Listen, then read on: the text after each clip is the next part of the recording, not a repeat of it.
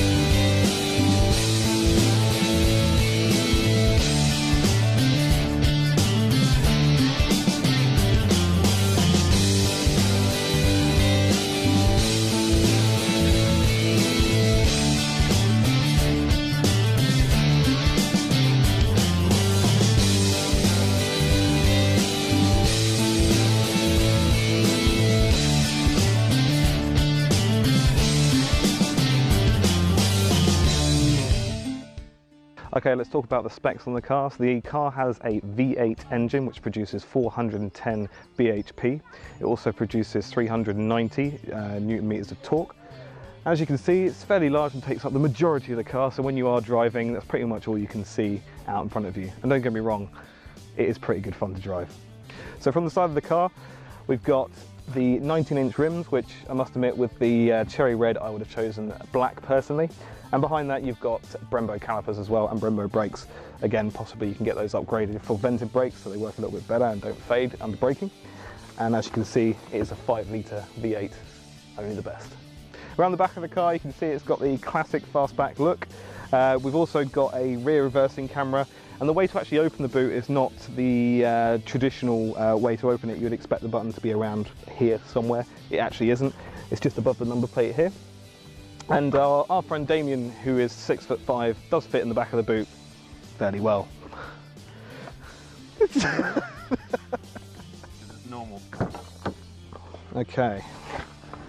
Inside the car, what toys do we have to play with? Well, the first thing that I noticed when I started driving it this morning was that the handbrake is in the weirdest place I've ever seen. I would presume that because the car has been switched from left hand drive to right hand side for the UK, in the US this would be in the normal place, but however in the UK it's on the left and it's very very strange indeed. Manual, six speed. You've also got various toggle switches down here which will control both mode, heated steering, traction control and your hazard lights. Above that, you've got your aircon, both heated and cooled seats.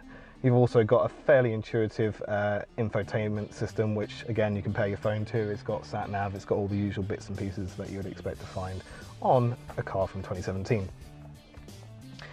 In addition to that, on the steering wheel, you've also got your cruise control uh, buttons. You've also got uh, access to your phone answering infotainment controls for your volume. And on the right side of the steering wheel, you've also got access to your light switches, which again, you can set to automatic or manual, depending on what your preference is.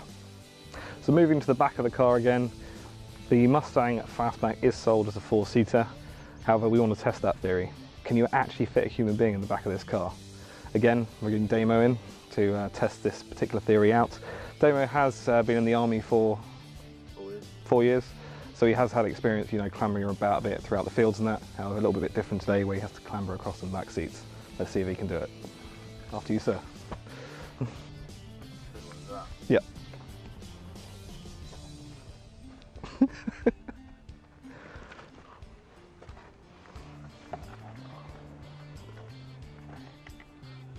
How you feeling? Condensed. Condensed. All right. Next test. Can we actually put the seat back? And can a human being get in the front? I'm being compacted. Okay. Good points to the Mustang there. so now we've had a quick look around the car, let's do the most important thing.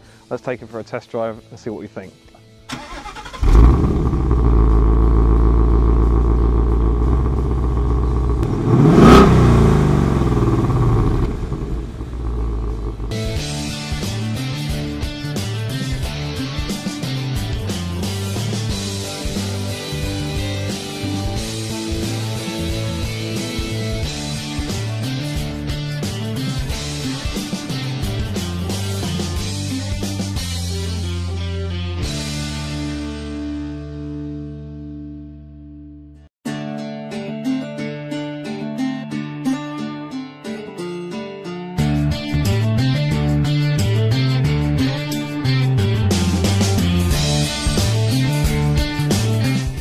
Absolutely amazing to drive. It's you know typical American muscle. I don't really have that much precision in the steering wheel, so in comparison to say my Alfa, it's not as accurate when you're turning around.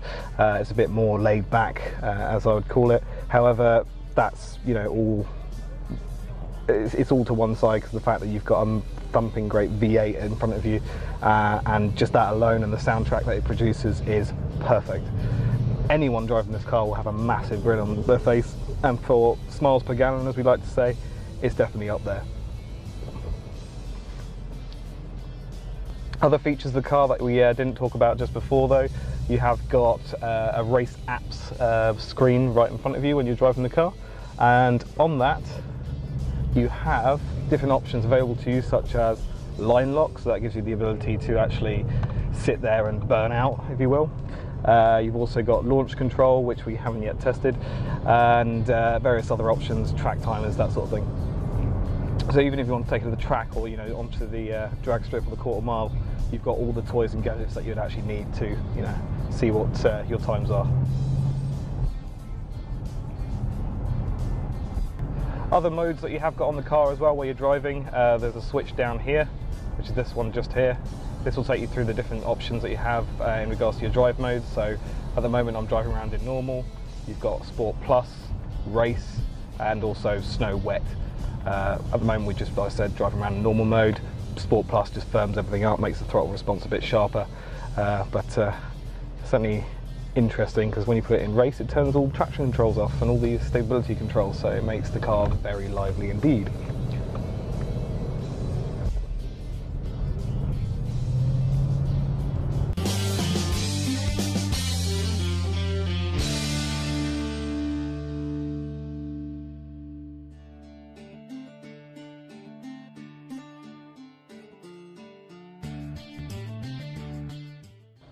So JP and I have been thinking of ways to summarise uh, the Mustang, and I think the wording we came to a conclusion on was that it's a value for money V8. You're getting all of that muscle car for under 30 grand. And today alone in Guernsey at Trust Ford, this car is 28,995, which you can't go wrong. Like I said, V8 for under 30 grand. I want to give a massive uh, thanks and a shout out to Martin at Trust Ford as well. The guys up there have been really, uh, really kind to us, lending us the car for today. So massive shout out to them and thank you very much. So thanks again guys for watching. We hope you liked the video. Give us a thumbs up if you liked it, give us a thumbs down if you didn't, and we'll see you in the next one.